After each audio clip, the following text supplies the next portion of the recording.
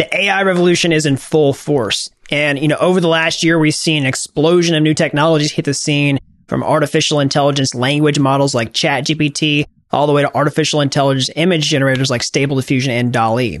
Now, this new technology is undeniably impressive, but it's got a lot of people scared, like with AI anxiety saying, Hey, is my job going to get completely replaced or is the nature of my job going to change entirely? And so I want to make this video today as a software engineer myself, you know, with 10 years of experience and a blockchain developer who's been in this space since 2017. I've seen a lot of new emerging technology hit the scene and the consequences that happen afterward. And so I want to weigh in on all of this and tell you exactly what you need to know. So if you're new around here, hey, I'm Gregory, and on this channel, I turn you into a blockchain master. So if that's something that you're interested in, then smash that like button down below for the YouTube algorithm and subscribe to this channel. And if you want to know how to become a blockchain master step by step, start to finish, break into the industry, increase your salary well past 100K, I can show you how to do that over at dappuniversity.com forward slash bootcamp.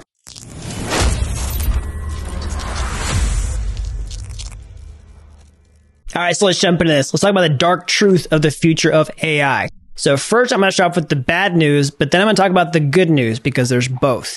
So first of all, the bad news is AI is going to replace some people's jobs. And if you're watching this video, it's probably going to change the nature of your job in the near future. Now that's the bad news, but here's the good news. Your job is not necessarily completely at risk, and a lot of the new technology that's hit the scene could actually make your job more enjoyable. And really, a lot of the AI anxiety that I see floating around online, particularly in the tech space, is just a little overblown.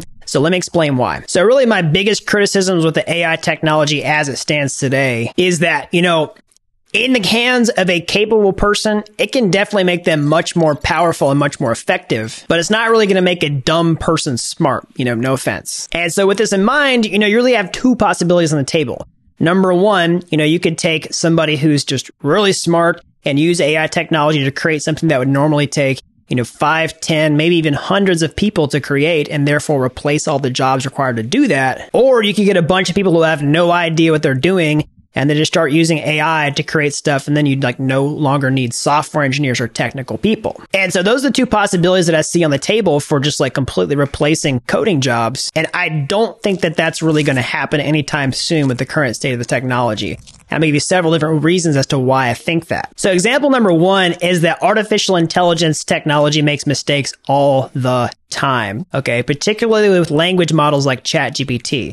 So again, ChatGPT is super impressive. Not trying to deny that at all. You know, I did a video recently talking about how you can create an app from scratch in like 20 minutes of ChatGPT. You can definitely do stuff like that. But along the way, it still makes errors. Okay. It's a language model. It doesn't actually run the code that it spits out. It has no real way to check whether or not it's making any mistakes.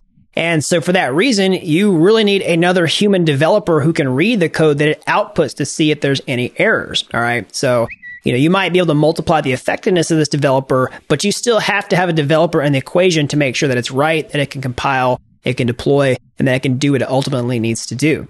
And I've seen lots of cases where people try to use AI technology to create a new application, maybe in a programming language they don't understand or in some new domain that they don't have any mastery over, or even just create a new feature with AI where they're a little fuzzy on how it works and it actually ends up taking longer with the AI than if they had never used it in the first place. So sometimes it can be a completely net negative, which really results in no efficiency boost. And on the other hand, it still has to be a developer present to make sure that it's giving you the right answers. All right. So example number two really builds off the first example of the AI making errors.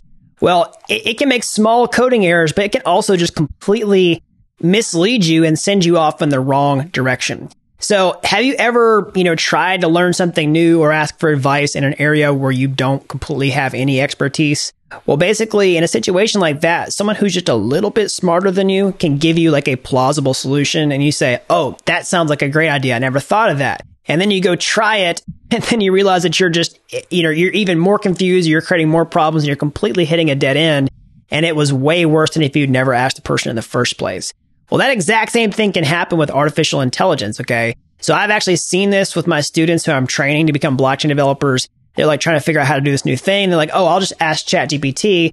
Oh, how do I do this? And then ChatGPT gives them this long convoluted explanation and say, Hey, try this. And they go do it and they end up more confused than when they started. And so in the same way, if you're trying to use an AI to create something that you don't know how to do yourself, it's not really going to replace having a coder who already possesses the information on how to do that to solve the problem for you. All right. So example number three comes from my own experience using AI to build real world applications. Okay.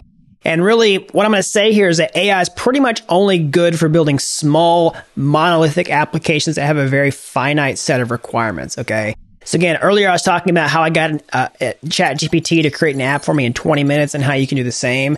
It's really impressive, but the capability really ends at creating small, you know, finite applications. Let's say you wanted to have AI create a website for you or a small like blockchain application, like an NFT or a token, and then put it out there. Okay, it's it's good for that. But what happens when you start like going out and building much bigger real world software that has all these complex requirements with a bunch of different code bases that all talk to one another? Like if you're a software engineer already working in the professional world, you've probably seen this type of stuff.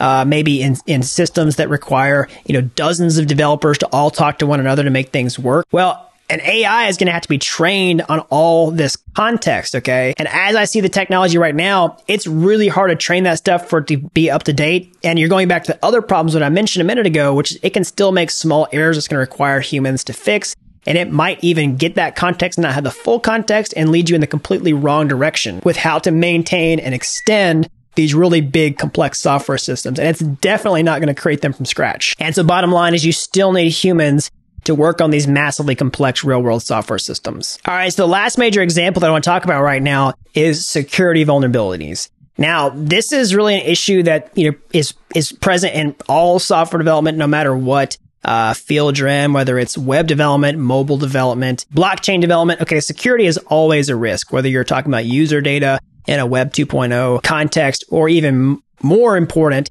you know, financial value on chain with blockchain. So let's say that you could basically get an artificial intelligence to create you a smart contract that's going to, you know, store tens of millions, if not hundreds of millions, or even billions of dollars on a blockchain itself. Well, do you really want to fully trust the AI that it wrote the code right, where there's going to be no security vulnerabilities. Okay. Most likely, you're also going to want humans to read through every single thing that that thing put out there uh, before you start custodying any real user funds on chain. So similarly, let's just say that a human wrote all the code. Are you going to trust an AI just to go through it and make sure that it doesn't have any type of security vulnerabilities? Well, most likely you're still going to have other trained humans go through that uh, before you put it out there in the wild and then risk all this money potentially being lost and your project, your business, your DAO, whatever, just completely tanking because it missed an error that you tried to pinch some pennies on and didn't hire real world auditors to look at. So this is another case where ultimately you want trained human eyes in the very least, in addition to the AI looking at stuff and therefore you know, not completely eliminating humans from the equation here. All right. So that's an overview. It's my biggest reasons as to why I don't think AI is going to completely replace software developers, really train technical people anytime soon. So what do I think is good for and what I think is actually most likely going to happen like right now and in the coming, you know, several years? Well, number one is you can use AI, like I was saying, to create small useful applications. And of course, this might eliminate the need for the bottom 10% of developers out there. We've seen this type of thing happen before with websites. Okay. It used to be really hard to code out websites from scratch, but then you have, you know, uh, drag and drop website builders that automated away a lot of that process. But guess what? You know, web developers didn't completely go away. We have, we have front end web developers all the time for more bespoke custom application and interface development. But no way is it a wide scale replacement of all software developers. So one thing is most likely to happen.